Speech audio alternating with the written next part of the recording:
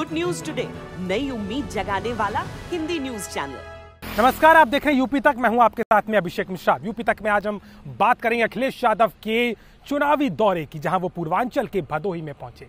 यहाँ न सिर्फ़ उन्होंने शिक्षकों के साथ संवाद किया, शिक्षक सभा को संबोधित किया, बल्कि बीजेपी पर भी साफ़ तौर पे निशाना साधा।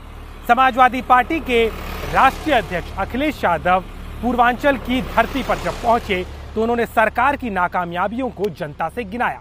कोरोना काल में हुई त्रासदी से लेकर के पलायन, मजदूरों का भटकाव और कोरोना की स्थिति को नियंत्रण करने में असफल रही बीजेपी सरकार का आरोप लगाते हुए अखिलेश यादव ने यहाँ पर सीधे तौर पर निशाना साधा। अखिलेश यहाँ भी नहीं रुके, उन्होंने ये भी कहा कि शिक्षकों की सबसे ज़्यादा नाकदरी और उनका अत्याचार सिर्फ़ और सिर्फ़ बीजेपी की सरकार में हुआ है। चाहे वो भर्तियाँ हो, चाहे वो आरक्षण हो या फिर उनकी बहाली को लेकर के मानदेय को लेकर के जितनी भी समय समय पर मांगे उठी उन्हें पूरा करने में बीजेपी नाकामयाब रही। वहीं इस, कार्यक्रम के दौरान उन्होंने अपने संवाद में किसान आंदोलन का भी ज़िक्र किया। अखिलेश ने कहा कि यूपी के एक इलाके मुजफ्फरनगर में किसान आज भी डटा है जहाँ हज़ारों की संख्या में किसान सरकार से सवाल कर रहे हैं। जो कानून किसानों के हित में नहीं है सरकार उन्हें क्यों नहीं वापस ले रही? इसके साथ ही साथ अखिलेश यादव ने बीजेपी पर संकल्प पत्र पूरा ना करने का भी आरोप लगाया है।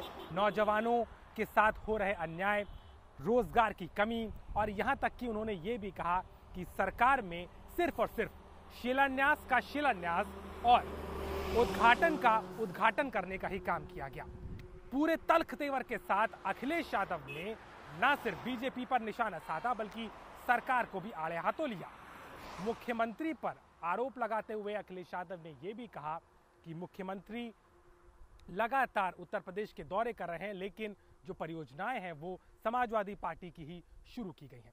इस चुनावी दौरे को कई हिसाब से देखा जा रहा है, क्योंकि आमतौर पर यह दौरा चुनाव का नहीं था, लेकिन यहाँ जो बातें हुई, जो प्रसंग रखे गए और जिस तरीके से खुले तौर पर अखिलेश यादव ने यहाँ समाजवादी पार्टी को समर्थन देने की बात कही उससे साफ़ नज़र आता है कि पूर्वांचल में भदोही से अखिलेश यादव ने अपने एक तरीके से कहा जाए तो चुनावी रणभेरी की शुरुआत कर दी। अखिलेश ने यह भी कहा कि लगातार उत्तर प्रदेश के जो हालात हैं, जो विकास रुका है और यहाँ तक कि सरकार का पूरा ध्यान ना तो काम में है, ना रोज़गार में, बल्कि मुद्दों से भटकाने का काम बीजेपी कर रही है। अखिलेश यादव ये पहली बार नहीं था जब पूर्वांचल में थे, क्योंकि वो आजमगढ़ के प्रतिनिधि हैं और लगातार पूर्वांचल में पहले भी वो दौरे करके सरकार को आड़े हाथों ले चुके हैं। लेकिन शिक्षक दिवस के मौके पर शिक्षक संघ के लोगों और शिक्षकों को एक करके अखिलेश ने एक तीर से दो निशाने चलाने का एक तरीके से काम किया है। न सिर्फ़ शिक्षक के प्रसंगों को उठाया, बल्कि भदोही के किसानों और खासतौर पे वहाँ के बुनकरों की समस्याओं को लेकर के भी सरकार पे आड़ो हाथों सवाल किया है। अखिलेश ने कहा कि अगर 2022 में समाजवादी पार्टी की सरकार बनती है तो किसानों और बुनकरों के लिए खास तौर पर बिजली का इंतज़ाम किया जाएगा, जो इस सरकार में बढ़ती हुई दुगनी दामों की बिजली और तमाम तरह की असुविधाओं की मार किसान झेल रहे हैं। अपने कामों का बखान करते हुए अखिलेश यादव ने यह भी याद दिलाया कि बीजेपी सिर्फ़ और सिर्फ़ रीब्रांडिंग का काम करती है। अब ऐसे में देखना होना कि आगे आने वाले दिनों में अखिलेश यादव कैसे तलख तेवर के साथ और बीजेपी पर प्रहार करते नज़र आएँगे।